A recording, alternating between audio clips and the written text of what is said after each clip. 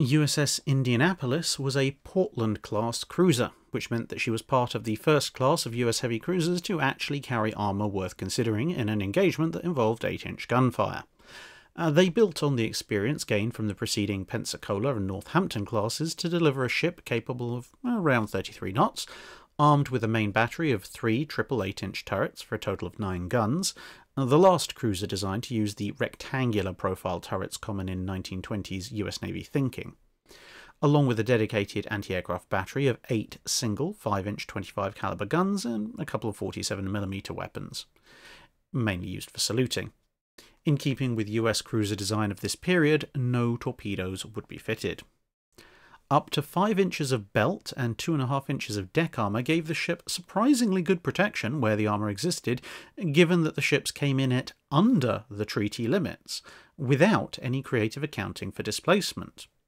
A number of aircraft could be carried, and new shells meant that they could also reach out further than their predecessors, and as such they would be fitted out as flagships. All in all, the two ships, Portland and Indianapolis, were a rather prestigious pair for the time.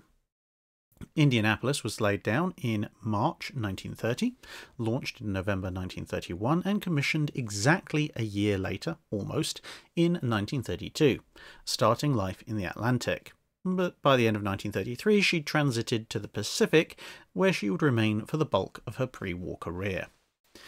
Due to being on a training exercise, Indianapolis was at sea during the attack on Pearl Harbor, and thus was one of the first ships operational for one of the first counter-strike missions, escorting first USS Lexington, which was then later joined by USS Yorktown,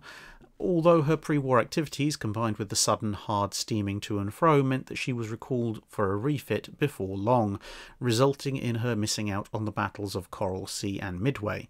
before being assigned to convoy escort duty briefly, and then taking a leading role in the successful retaking of the Aleutian Islands, which had briefly fallen to the Japanese as part of a diversionary effort that was meant to distract the US Navy from Midway.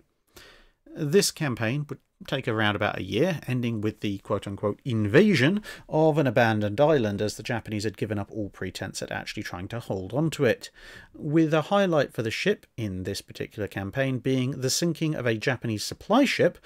carrying a wide mix of items, but including a large amount of ammunition, which promptly detonated, reducing the ship to confetti and bad memories. After a brief refit in summer 1943, it was then on to join the main invasion effort with the assault on Tarawa. As with many other American ships in this time period, this meant a lot of shore bombardment duty and supporting carrier expeditions in order to launch raiding strikes against Japanese targets that were further forward than the main line of advance. This would include attacks on the Western Caroline Islands and the Mariana Islands, along with a minor role in the Battle of the Philippine Sea, before heading onwards to take Guam and the surrounding islands, before heading back to California for yet another refit by the end of 1944. US cruisers that survived this far into the war were getting very heavily used. She was back in action by February 1945, taking part in raids launched against the Japanese home islands themselves, with Indianapolis acting in escort support. By this point, she was carrying multiple radars, two dozen 40mm Bofors, and 19 single 20mm Oerlikons, along with her 5 inch anti aircraft guns, making her a very powerful anti aircraft escort to the carriers. After a number of such raids, the ship found itself back on shore bombardment duty, this time off of Okinawa, where she was hit by a kamikaze and the bomb it was carrying in separate locations. This would bring her back to Mare Island for yet another visit. One wonders if there was perhaps a frequent visitor point system for this particular shipyard for the poor old cruiser. But with those repairs completed, she was tasked with an especially secret mission to take atomic bomb components and a good chunk of the world's total supply of weapons grade uranium to the other side of the Pacific, where it would be assembled into the bomb that would later be dropped on Hiroshima. Travelling alone at top speed via Pearl Harbor, she managed the crossing in only 10 days before being reassigned to more mundane duties.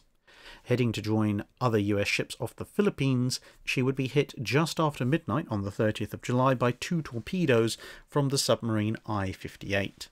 These Type 95 weapons were the submarine version of the feared Long Lance, and with over 50% of her underwater compartments instantly compromised by the twin blasts, she capsized and sank in less than 15 minutes. Albeit for such a rapid sinking, the majority of her crew actually managed to get out, with about 75% of the 1,195 aboard getting into the water. Albeit that the speed of the evacuation and the rate of capsizing meant that there weren't that many boats or floats available, as it had been impossible to launch them in time. The ship's radio officers had managed to get distress calls off, but due to a combination of paranoia, negligence, and outright laziness, various operating stations that received these signals didn't acknowledge or forward them. There was further dereliction of duty that meant that no search was launched when the ship was reported overdue either, and so appro the approximately 900 survivors had to endure three to four days at sea with dehydration, hypothermia, poisoning from bunker oil, and of course the famous, but possibly later slightly over exaggerated by the media, shark attacks, which whittled the numbers down to just over 300 by the time a Catalina flying boat happened to chance across them. Once found, there was a combination of heroic efforts by various flying boats and surface ships that managed to rescue most of those who were still left alive but it was too late for many who had survived the sinking of the ship itself. Uh, following this, Captain McVay became the only US captain court martialed for the loss of his ship in World War II, although the circumstances of the trial were so contrived that despite being found guilty of risking the ship, the sentence was almost immediately retracted by Fleet Admiral Nimitz, and there was a much later investigation, starting in the late 1990s, that would eventually result in the clearing of McVay's name completely. But this ship's particular story will have to be explored in more detail at some point in the future to go over the full circumstances of her loss. That's it for this video. Thanks for watching. If you have a comment or suggestion for a ship to review, let us know in the comments below. Don't forget to comment on the pinned post for dry dock questions.